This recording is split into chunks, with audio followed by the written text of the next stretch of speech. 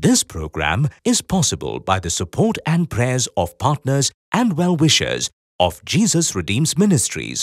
என் மகனே என் மகளே நீ பராக்கிரமசாலி நான் உன்னோட கூட இருக்கிறேன் நான் உன்னை அனுப்புகிறேன். உன்னாலே முடியும் நீ சாதிப்பாய் நீ அதை செய்து முடிப்பாய். உன்னை கொண்டு தான் நான் அதை செய்து முடிப்பேன். ஆண்டவர் தெளிவாய் உங்களோடு பேசுகிறார். ஆகவே பராக்கிரமசாலியை பயப்படாதே. உனக்கு இருக்கிற இந்த பலன் போதும். உன்னை அனுப்புகிறது நான் உனக்கு வாக்கு கொடுத்து நான் அனுப்புகிறேன். என் ஆண்டவர் உங்களை பார்த்து சொல்லுகிறார்.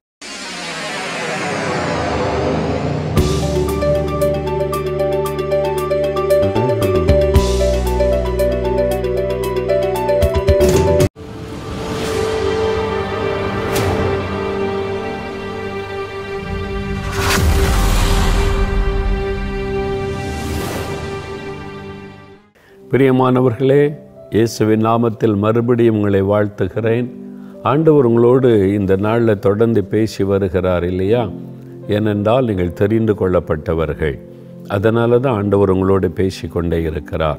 இந்த நேரத்திலும் கூட தேவன் உங்களை எப்படி பயன்படுத்த விரும்புகிறார்? தேவன் எதற்காக உங்களை தெரிந்தெடுத்திருக்கிறார்? வரப்போகிற எழுப்போதல்ல உங்களை கொண்டு என்ன செய்ய திட்டமிட்டிருக்கிறார்? நீங்கள் அதை எப்படி செய்யணும்? என்பதை குறித்தெல்லாம் உங்களுக்கு நிறைய சொல்லி கொடுக்கப்படுகிறது. அதையெல்லாம் கற்றுக்கொண்டு அதை நீங்கள் விசுவாசத்தோடு நிறைவேற்றும் போது அந்த எழுப்புதலை நம்ம காண்போம். இப்போ வேறு புஸ்தகத்திலிருந்து ஒரு பகுதியை நாம் தியானிக்க போகிறோம். ஒரு கிதியோனை கத்த நியாயாதிபதியாக எழுப்பி ஒரு லீடராக எழுப்பி கத்தர் அவரை கொண்டு ஒரு பெரிய திட்டத்தை நிறைவேற்றி முடித்த சம்பவம். நியாயாதிபதிகள் ஆறு ஏழு அதிகாரங்களிலே நீங்கள் வாசிக்க முடியும். இல்லை கத்தருடைய ஜனம் இஸ்ரவேல் ஜனங்களுக்கு விரோதமாய் மீதியானியர் எழும்பி அவங்கள எல்லாம் அடிமைப்படுத்திட்டாங்க. மீதியானியர் அமலேக்கியர் கிழக்கத்தி புத்தரர் என்று மூன்று தேசத்தின் சேனைகள் புறப்பட்டு வந்தால் இஸ்ரேல் மக்களுடைய வயல் நிலங்களை எல்லாம் அழித்து கெடுத்துருவாங்க. கால்நடைகளை எல்லாம் கொண்டு போடுவாங்க. அவங்களுக்கு வருமானமே இல்லாமல் செய்துருவாங்க. செழிப்பான தேசத்தில் அவங்க ஏழ்மை கஷ்டத்தில் இருக்கிற மாதிரி செய்து விடுவாங்க. சத்துரு அப்படி தான் பாருங்கள் பிசாஸ் ஆகிய சத்துரு எழும்பி தேவ ஜனத்துக்கு விரோதமாக யுத்தம் பண்ணி அவளுக்கு வீணான சேதங்களை உண்டாக்கி கலங்க பண்ணி பயமுறுத்தி அவங்களை முடக்கி விடுவதற்கு முயற்சி பண்ணுகிறான். ஆனால் இந்த கிதியோனை தேவன் தெரிந்தெடுத்து பயன்படுத்தின இந்த காரியங்களை குறித்து வேதத்தில் வாசிக்கிறோம். நியாயாதிபதிகள் ஆறாம் அதிகாரம் பன்னிரெண்டாம் வசனம் முதல் பதினான்கு வரை நான் வேதத்தில் வாசிக்கிறேன் பாருங்கள் கத்தருடைய தூதனானவர் அவனுக்கு தரிசனமாகி பராக்கிரமசாலியே கத்தர் உன்னோடே இருக்கிறார் என்றார். அப்பொழுது கிதியோன் அவரை நோக்கி ஆ என் ஆண்டவனே கத்தர் எங்களோட இருந்தால் இவையெல்லாம் எங்களுக்கு நேரிடுவானேன். கத்தர் எங்களை எகிப்திலிருந்து கொண்டு வரவில்லையா என்று எங்கள் பிதாக்கள் எங்களுக்கு விவரித்து சொன்ன அவருடைய அற்புதங்கள் எல்லாம் எங்கே? இப்பொழுது கத்தர் எங்களை கைவிட்டு மீதியானியர் கையில் எங்களை ஒப்பு கொடுத்தாரே என்றான். அப்பொழுது கத்தர் அவனை பார்த்து உனக்கு இருக்கிற இந்த பலத்தோடே போ. நீ இசிறவேலை மீதியானியரின் கைக்கு நீங்களாக்கி ரட்சிப்பாய். உன்னை அனுப்புகிறவர் நான் அல்லவா? என்றார். இங்க பாருங்க ஆண்டவர் வந்து கிதியோனை சந்திக்கிறார். இந்த கிதியோன் பாருங்க அந்நியர்கள் வந்து வயல் நிலங்களை சேதப்படுத்தி நஷ்டப்படுத்தி அழிவை உண்டாக்குறதுனால அவர் வந்து வயல் நிலத்தில் விளைந்த கதிர்களை போரடிக்கிறார். ஆலைக்கு பக்கத்தில் ஒருவேளை சத்துருகள் வந்துட்டாலும் இந்த பயிர்களை இந்த நெல் மணிகளை அல்ல கோதுமை மணிகளை பாதுகாக்கணும். நாம் அறுவடை செய்த இந்த காரியத்தை பாதுகாக்கணும்னு சொல்லி அவர் வேலை செய்து கொண்டிருக்கிறார். அப்போ கத்தருடைய தூதனானவர் வந்தார். தூதனானவர் என்று இந்த பகுதியில் பார்க்க முடியும். தூதனானவர் என்பது இயேசு கிறிஸ்துவை குறிக்கும். பழையப்பாட்டு காலத்தில் சில இடத்துல தான் தூதனானவர் என்று சொல்லப்படும். தேவதூதன் என்று சொல்லப்படாதபடி தூதனானவர். அது இயேசு கிறிஸ்துவை தான் குறிக்கும் என்று வேத அறிஞர்கள் தெளிவுபடுத்தி இருக்கிறாங்க. இப்போ ஆண்டவர் வந்து அவரை சந்திக்கிறார். சந்திக்கும்போது ஆண்டவர் இந்த கிரியோனை பார்த்து மூணு காரியம் சொல்கிறார் முதலாவது ஆறாம் அதிகார பன்னிரெண்டாம் வசனத்தில் பராக்கிரமசாலியை கத்தர் உன்னோடு இருக்கிறார். முதலாவது சொல்லுகிற வார்த்தை நீ பராக்கிரமசாலி. ஆனால் இவர் வந்து மீதியானியர் வந்துருவாங்களோ சத்துருக்கள் வந்துருவாங்களோ பயிரெல்லாம் அழிச்சிருவாங்களோன்னு பயந்து கொண்டு ஆலைக்கு பக்கத்தில் அவர் போரடித்து கொண்டிருக்கிறார். அந்த ஆண்டு சொல்கிறார் நீ பராக்கிரமசாலி என்று ஆண்டு சொல்கிறார் ரெண்டாவது ஆண்டு சொல்கிறார் பாருங்க. பதினான்காம் வசனத்தில் உனக்கு இருக்கிற இந்த பலத்தோடே போ. உன்னை அனுப்புகிறவர் நான் அல்லவா? என்று ஆண்டு சொல்கிறார் முதல்ல ஆண்டு சொல்கிறார் நீ பராக்கிரமசாலி கத்தர் உன்னோடு இருக்கிறார். ரெண்டாவது சொல்கிறார் உனக்கு இருக்கிற இந்த பலத்தோட போ. உன்னை அனுப்புகிறவர் நான் அல்லவா? மூன்றாவது ஒன்று சொல்கிறார் பதினாறாம் வசனத்தில் நான் உன்னோடு கூட இருப்பேன். நீ மீதியானரை முறியடிப்பாய். சத்துருக்களை முறியடிப்பாய். ஒரு நிமித்தம் இந்த தேசம் விடுவிக்கப்படும். மக்கள் விடுதலை அடைவார்கள். ஒரு பெரிய மாற்றம் தேசத்திலே உண்டாகி மறுரூபம் உண்டாகும் என்று சொல்லி ஆண்டவர் ஒருக்கு வாக்கு கொடுக்கிறார். இன்றைக்கி அதே ஆண்டவர் சொல்கிறாரு நீ பராக்கிரமசாலி. என் மகனே நீ பராக்கிரமசாலி. என் மகளே நீ பராக்கிரமசாலி. நீ எழுப்புதலுக்காய் தெரிந்து கொள்ளப்பட்டவன் தெரிந்து கொள்ளப்பட்டவள். நீ சாதனமானவன் அல்ல நீ பராக்கிரமசாலி. உன்னாலே சாதிக்க முடியும். என்பதாக ஆண்டவர் சொல்லுகிறார். நீங்கள் நினச்சி கொண்டு இருக்கிறீங்க சத்துரு வெள்ளம் போல் எழும்பி வர்றான் இந்த பக்கம் போராட்டம் அந்த பக்கம் போராட்டம். நானே பயந்து கொண்டு இருக்கிறேன் என்னுடைய வயல் நிலத்தில் விளைந்ததை பாதுகாக்கணுமேன்னு சொல்லி என்பதாய் அவர் பயத்தோடு அவசர அவசரமாக வேலை செய்கிறார். அந்த ஆண்டவர் சொல்கிறாரு நீ பயப்படாதப்பா நீ பராக்கிரமசாலி என்பதாய் ஆண்டவர் சொல்லுகிறார். அடுத்த ஆண்டு சொல்லுகிறாரு உனக்கு இருக்கிற இந்த பலத்தோட போ அந்த சத்துருக்களை நீ எதிர்கொள்ளணும் அவங்களோட மோதணும் அவங்கள ஜெயிக்கணும் இந்த தேச மக்களுக்கு ஒரு பெரிய விடுதலை உண்டாகணும் இந்த தேசத்தில் அடிமைப்பட்டு கிடக்கிற மக்கள் சந்தோஷப்படணும் அதுக்கு நான் அவனை பயன்படுத்த போகிறேன் என்பதாக ஆண்டவர் பேசுகிறார். நான் உன்னோட கூட இருப்பேன். ஆண்டு சொல்கிறார் நான் வந்து எப்படி இதெல்லாம் செய்ய முடியும்? என் கோத்திரம் சின்னது என் கோத்திரத்தில் என் குடும்பமே ரொம்ப சின்னது எளியது. என்னால் இதெல்லாம் செய்ய முடியுமா? நினைக்கும் போது தான் ஆண்டு சொல்லுகிறார் நீ பயப்படாதே. நான் உன்னோடு கூட இருக்கிறேன்னு சொல்லிட்டு ஒரே ஆளை முறியடிப்பதைப் போல நீ மீதியானரை முறியடிப்பாய் கத்தர் வாக்கு கொடுத்துட்டார். அதே ஆண்டவர் உங்களை பார்த்து சொல்றார் என் மகனே என் மகளே நீ பராக்கிரமசாலி நான் உன்னோட கூட இருக்கிறேன். நான் உன்னை அனுப்புகிறேன். உன்னுடைய பகுதியில் நீ இருக்கிற ஏரியாவில் எந்த இடத்துல இருக்கிற நீ இருக்கிற பகுதிக்கு நான் உன்னை அனுப்புகிறேன். எதற்காக என்று சொன்னால் அங்கு இருக்கிற சத்தர்களுடைய கிரியைகளை முறியடிப்பதற்காக எழுப்புதலுக்கு விரோதமாய் செயல்படுகிற விக்கிரக ஆவிகள் வஞ்சிக்கிற ஆவிகள் ஏமாற்றுகிற ஆவிகள் தவறான நம்பிக்கையை மக்களுக்குள்ளே விதைத்து கொண்டிருக்கிற சத்தருடைய கிரியைகளை அழித்து ஒரு பெரிய விடுதலையை ரட்சிப்பை ஜனங்களுக்கு கொண்டு வரும்படியாக அந்த எழுப்புதல் திட்டத்தை நிறைவேற்றுவதற்காக ஆண்டவர் சொல்லுகிறார் நான் உன்னை அனுப்புகிறேன். அதுக்கு தான் உங்களை அழைச்சிட்டு வந்து உங்களோட பேசி உங்களை ஆண்டவர் உருவாக்கி கொண்டிருக்கிறான் அது மாத்திரமல்ல நான் உன் கூட இருப்பேன்.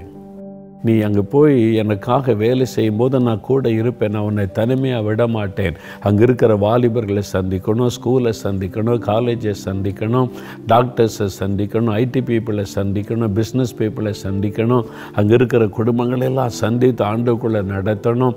ஆண்டோடைய மாபெரும் திட்டம் நிறைவேறணும். இதெல்லாம் என்னால் முடியுமான்னு நீங்கள் நினைக்கிறீங்களா? ஆண்டு சொல்ல நான் உன் கூட இருப்பேன். உன்னால் முடியும். நீ சாதிப்பாய். நீ அதை செய்து முடிப்பாய். உன்னை கொண்டு தான் நான் அதை செய்து முடிப்பேன். ஆண்டவர் தெளிவாய் உங்களோடு பேசுகிறார். ஆகவே பராக்கிரமசாலியை பயப்படாதேன் உனக்கு இருக்கிற இந்த பலன் போதும். உன்னை அனுப்புகிறது நான். உனக்கு வாக்கு கொடுத்து நான் அனுப்புகிறேன் என் ஆண்டவர் உங்களை பார்த்து சொல்லுகிறார். சரி இப்போ அதை நீங்கள் விசுவாசித்து அவருக்கு அர்ப்பணித்து உங்களை நீங்கள் முழுமையாக இந்த எழுப்புதல் திட்டத்தில் உங்களை அர்ப்பணித்து கொள்ள வேண்டும். பாருங்க ஆண்டவர் கிதியோனை சந்தித்து அவனோடு பேசினார். அப்போ ஆண்டவர் அவனை தெரிந்தெடுத்து இந்த கிதியோனை கொண்டு மாபெரும் ரட்சிப்பை கட்டளையிட்டாராம். மீதியானரை அழித்து அந்த அமலேக்கியர் கிழக்கத்தை புத்தர் எல்லாரும் ஒருவருக்கு விரோதமாக ஒருவர் எழும்பி வெட்டி கொண்டு செத்தாங்க. ஒரு பெரிய விடுதலையை ஒரு பெரிய ஜெயத்தை கிதியோனுடைய தலைமையில் அந்த மக்கள் பெற்றுக்கொண்டார்கள். காரணம் என்ன? கிதியோன் ஆண்டவர் பயன்படுத்த காரணம் என்ன? நியாயாதிபதிகள் ஆறாம் அதிகாரம் பதினோராம் வசனத்தை பாருங்கள் பதினோராம் வசனத்தில் அதற்கு பின்பு கத்தருடைய தூதனானவர் வந்து அபியசீரியனாகிய யோவாசின் ஊராகிய ஓப்ராவில் இருக்கும் ஒரு கருவாலி மரத்தின் கீழ் உட்கார்ந்தார். அப்பொழுது அவனுடைய குமாரன் கிதியோன் கோதுமையை மீதியானீரின் கைக்கு தப்புவிக்கிறதற்காக ஆலைக்கு சமீபமாய் அதை போரடித்தான் என்று வசனம் சொல்லுகிறது. கிதியோன் ஆண்டவர் தெரிந்து கொள்ள காரணம் என்ன? அவன் வந்து கடினமாய் பிரயாசப்படுகிறவன் முயற்சி செய்கிறவன்.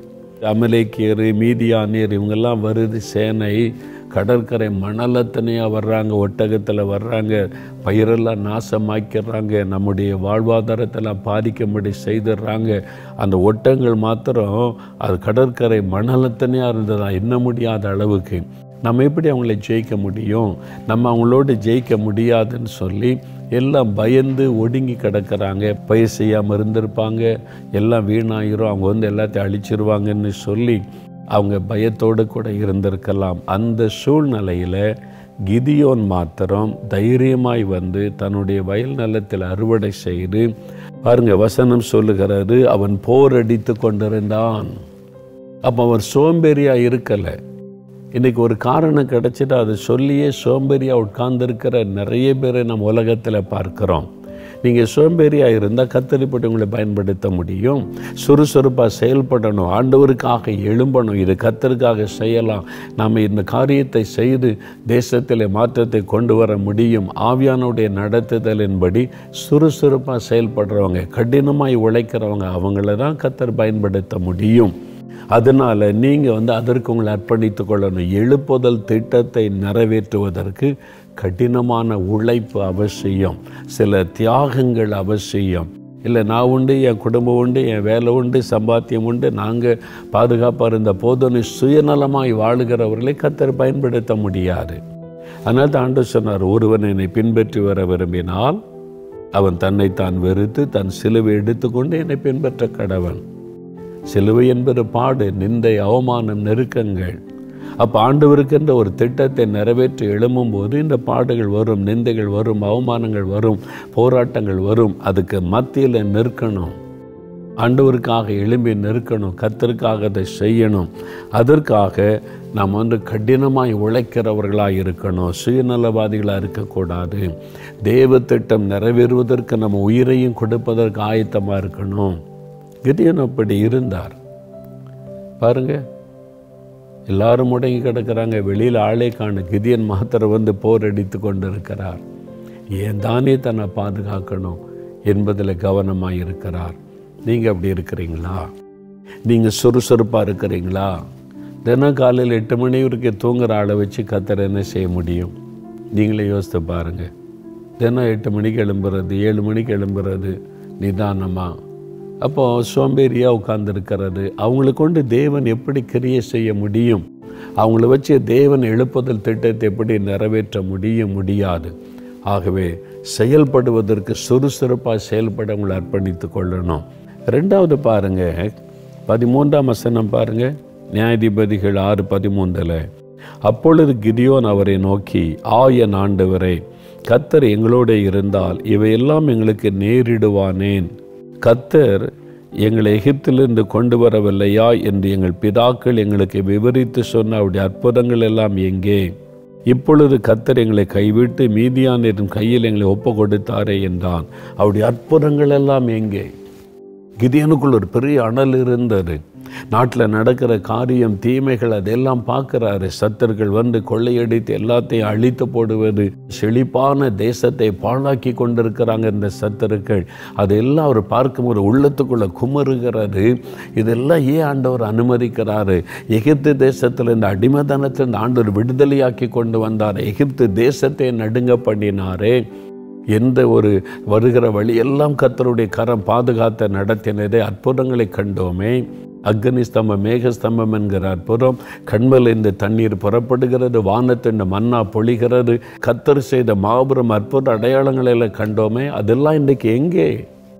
Where is the miracle of our lord எங்கே அந்த வல்லமை? அவருக்குள்ளே கொழுந்து விட்டு எரிந்ததை. நாங்கள் ஏன் இப்படி கஷ்டப்படணும்? ஏன் இப்படி சிறையிருப்புக்குள்ள இருக்கணும்? ஆண்டோடைய அற்புதங்கள் எல்லாம் எங்கே? அனல் கொண்டு இருந்தது அவரைத்தான் தேவன் பயன்படுத்தினார்.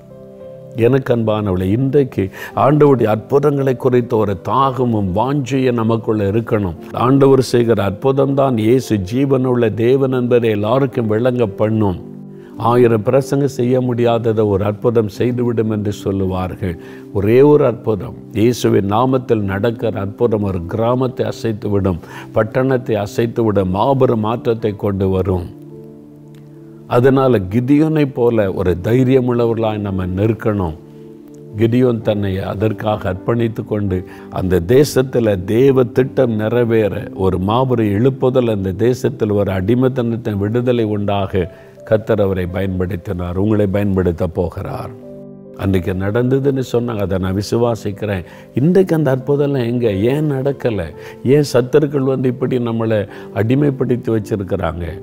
அவனுக்குள்ள அந்த தாகம் இருந்தது. நீங்கள் யோசித்து பார்த்தீங்களா அதை? ஜனங்களை இன்றைக்கு பிசாசு பாவத்திற்கும் சாபத்திற்கும் அடிமையாக்கி வைத்திருக்கிறான். தவறான நம்பிக்கைகளுக்கும் மூட பழக்கத்திற்கும் குறி சொல்லுகிற ஆவிக்கும் மந்திரவாதங்களுக்கும் அடிமையாக்கி வைத்திருக்கிறான். மக்கள் சிறுமை அனுபவித்து கொண்டு இருக்கிறாங்க வேதனை அனுபவித்து கொண்டு இருக்கிறாங்க இந்த என்னுடைய ஜன விடுதலை அடையணும். இந்த என் ஜன மறுரூபமான ஒரு வாழ்க்கையை பெறணும். அந்த பிசாசின் அடிமைத்தனத்திலிருந்து வெளியே கொண்டு வரப்படணும். அந்த மாதிரி ஒரு எழுப்புதல் அந்த மாதிரி ஒரு ஆவிக்குரிய மாற்றம் வரணும் என்கிற தாகம் நமக்குள்ள இருக்குதா? உங்களுக்குள்ள இருக்குதா? அதற்கு ஆண்டவர் அற்புதம் செய்யணும். அந்த அற்புதம்லாம் எங்கே? செத்தவங்களை உயிரோடு எழுப்பின அவருடைய அற்புத வல்லமை எங்கே? பிசாசுகளை அவரை கண்டு நடுங்கிட்டு அந்த அற்புத வல்லமை இன்றைக்கு எங்கே? அன்றைக்கி ஆண்டவர்கிட்ட கேட்கணும். உங்களுடைய உள்ளம் கொழுந்து விட்டு எரியணும். ஆண்டவர் அதற்கேற்ற அற்புதங்களை செய்யணுமே. அந்த பாரம் உங்களுக்குள்ளே கொழுந்து விட்டு எரியணும். கிதியனுக்குள்ளே அந்த பாரம் இருந்தது. அதனால தான் தேவன் அவரை தெரிந்து கொண்டார். அவர் பயந்து ஒடுங்கி விடுகிறவர் அல்ல. அவருக்குள்ள ஒரு பயம் இருந்தது. எதிராளிகள் பெரிய கூட்டம் அல்ல மூன்று ராஜாக்கள் ஒன்று சேர்ந்து கடற்கரை மணலத்தனையான திரள் கூட்டமாக வரும்போது யாருடைய உள்ளமும் பயப்படும். அந்த மாதிரி ஒரு பயம் அவருக்குள்ள இருந்தது. அவங்க வந்து என்னுடைய பயிரெல்லாம் சேதப்படுத்திடுவாங்களோ நீ பயந்து தான் போரடித்து கொண்டிருந்தார். ஆனால் அந்த கிதியோனை கத்தர் எழுப்பி அவரை பலப்படுத்தி அனுப்புகிறதை பார்க்கிறோம்ல? அது காரணம் அவருக்குள்ள இருந்த வாஞ்சை அவருக்குள்ள இருந்த ஒரு பெரிய தாக ஆண்டவுடைய வல்லமை எங்கே? அந்த அற்புதங்கள் எங்கே? ஏன் இன்றைக்கு ஆண்டவர் அந்த அற்புதம் செய்யக்கூடாது? உங்களுக்குள்ள இந்த வாஞ்சி இருக்குதா? அன்றைக்கு சப்பானிகள் நடந்தாங்க குருடர் பார்வை அடைந்தாங்க அசுத்த ஆவிகள் ஓடினது. மருத்துவரும் உயிரோடு எழுப்பப்பட்டாங்க. அதனால எங்கும் இயேசுவின் நாம மகிமைப்பட்டது. இயேசுவின் நாம பிரஸ்தாபமாக்கப்பட்டது. எல்லாரும் இயேசு இயேசு இயேசு என்று சொன்னாங்க. அந்த ஒரு எழுப்புதல் வருவதற்கு அந்த அற்புதங்கள் இன்றைக்கு எங்கே? ஏன் இந்த அற்புதங்கள் இன்றைக்கு நிறைவேறவில்லை? உங்களுக்குள்ள ஒரு கேள்வி எழும்பணும் ஒரு தாகம் எழும்பணும். ஆண்டவரே உடைய வல்லமை. இந்த அற்புதங்கள் எல்லாம் எங்க நீ கேட்கணும்? அந்த அற்புதங்கள் நடக்கும்போது தான் திரள் கொண்ட புறஞ்சாதி மக்கள் இயேசன் பக்கம் திரும்புவார்கள். அதனால தான் இந்த கிதியோனை போல நம்ம தாகத்தோட எழும்பணும்னு கத்தர் பேசுகிறான் இப்போ ஒரு நிமிடம் நாம் செபிக்க போகிற எளிமை இல்லைங்க கண்களை மூடுங்க. கிதியோனை கண் முன்னால் நிறுத்தி கொள்ளுங்க. இன்னைக்கு ஆண்டவருக்கு தேவை கிதியோன். கிதியோன்கள் எழும்பணும் பாவத்துக்குள்ளும் சாபத்துக்குள்ளும் தவறான நம்பிக்கைக்குள்ள நம் ஜனத்தை அடிமைப்படுத்தி சிறுமைப்படுத்தி வஞ்சித்து கொண்டிருக்கிற பொருளாதவனுடைய கிரியைகளை வெட்டி வீழ்த்துவதற்காக அவனுடைய சேனைகளை துரத்தி அடிப்பதற்காக உங்களை ஒப்பு கொடுக்க முடியுமா? நான் பயப்பட மாட்டேன். ஆண்டவரை உயிரே போனாலும் பயப்பட மாட்டேன். முன் வைத்த காலை பின் வைக்க மாட்டேன். எந்த சூழ்நிலையில் பயப்படாமல் நான் துணிந்து நெருக்க என்னை ஒப்பு கொடுக்கிறேன் ஒப்பு கொடுக்கிறீங்களா ஒப்பு கொடுங்க உங்களுடைய அற்புத வல்லமை நான் விசுவாசிக்கிறேன். நீர் பெரிய காரியத்தை செய்கிறவர் இயற்கைக்கு மேற்பட்ட காரியத்தை செய்கிறவர். அன்றுவரை என்னை கொண்டு அப்படி செய்யும். என்னை கொண்டு உடைய வல்லமை அற்புத அடையாளங்களை விளங்க பண்ணும். அப்படி ஒப்பு கொடுங்க நீங்கள் என்ன சொன்னாலும் நான் கீழ்ப்படிவேன். என்ன கட்டளையிட்டாலும் கீழ்ப்படிவேன். நான் கேள்வி கேட்க மாட்டேன். நீர் சொல்லுகிறபடி செய்வேன் என அர்ப்பணிக்கிறேன். இந்த மாதிரி ஒரு கிதியோனை போல் அர்ப்பணித்து நிற்க போகிறவள் எத்தனை பேர்? அப்படியே கண்கள் மூடி இருக்கையில் நான் கிதியோனை போல என்னை ஒப்பு கொடுக்கிறேன் எழுப்புதல் திட்டம் நிறைவேற அர்ப்பணிக்கிறேன். அப்படி சொல்லுகிறவர்கள் மாத்திரம் மல்லதுகிற முயத்துங்க. அப்படியே ஜோமனுங்க ஜோமனுங்க தகப்பனே எங்கள் மத்தியிலே பிரசன்னமாக இருக்கிற அன்பிற்காக ஸ்தோத்திரம் அப்பா. அன்றைக்கு கிதியோனுடைய சேனைக்கு ஒரு பெரிய வெற்றியை கொடுத்த ஆண்டவர். எங்களுக்கும் நீர் பெரிய வெற்றியை கொடுக்க முடியும். தரும்படி வாக்கு பண்ணி இருக்கிறீர். நாங்கள் இதை விசுவாசிக்கிறோம் அதை எதிர்பார்க்கிறோம். ஆவியானுடைய பலத்த வல்லமை அண்டுவரை ஒவ்வொருவர் மேலே இறங்கட்டும். யார் யார் ஒப்பு கொடுக்கிறாங்களோ அவங்க மேலெல்லாம் உடைய அக்னி இறங்கட்டும் உடைய வல்லமை இறங்கட்டும் அபிஷேகம் இறங்கட்டும். கிதியோன்களாக எழும்ப பண்ணும் ஏசு கிறிஸ்துவின் நாமத்தில் அக்னி இறங்கட்டும். வல்லமை அவர்களை நிரப்பட்டும் எழும்ப பண்ணும். ஆவியானுடைய வல்லமை நிரப்பி கொண்டு இருக்கிறதற்காய் ஸ்தோத்திரம். அபிஷேகித்து கொண்டு இருக்கிறதற்காய் அந்த அக்னி ஒவ்வொருவர் மேலும் வெள்ளட்டும் இப்பொழுது கத்தருக்காக எழும்பட்டும் கத்தருடைய ஆவியானவர் கிதியோன் மேலே வந்து இறங்கினார் என்ற வார்த்தையின்படி ஒவ்வொரு மகன் மீதும் மகள் மீதும் உடைய அக்னி இறங்கட்டும் அபிஷேகத்தின் வல்லமை இறங்கட்டும். கத்தருக்காக எழும்ப பண்ணும். ஆண்டவர் அப்படி செய்கிறதற்காக ஸ்தோத்திரம். அன்றுவரை கிதியோனின் சேனை எழும்பட்டும் இயேசுவுக்காக. சென்னை பட்டணத்திலே கத்தருடைய ரட்சிப்பு மகிமை வல்லமை வெளிப்படட்டும். எழுப்பதில் அக்னி பரவட்டும். கத்தரப்படி செய்கிற அன்பிற்காய் ஸ்தோத்திரம். உடைய வல்லமையினால் நிரப்பி பலப்படுத்தினதற்காய் ஸ்தோத்திரம் ஸ்தோத்திரம் ஸ்தோத்திரம். இயேசு கிறிஸ்துவின் நாமத்தில் ஜெபிக்கிறோம் பிதாவே. ஆமேன் ஆமேன். பிரியமானவர்களே நீங்கள் தெரிந்து கொள்ளப்பட்டவர்கள். கிதியோன் அவனுடைய சேனை எழும்பினர் அதே மாதிரி உங்களை ஒரு சேனையாய் கத்தர் எழும்ப பண்ணியிருக்கிறார் இனி தீவிரமாக செயல்படுங்க கத்தர் பெரிய காரியம் செய்வார் எழுப்புதல் அக்னி பரவட்டும் தேசமெங்கும் ஆமேன் ஆமேன் For further details and prayer support, contact Jesus Redeems Ministries, Nalu Mavadi, Tuticorin District, 628 211. Our phone number 04639 220022. Info at jesusredeems.org. God bless you.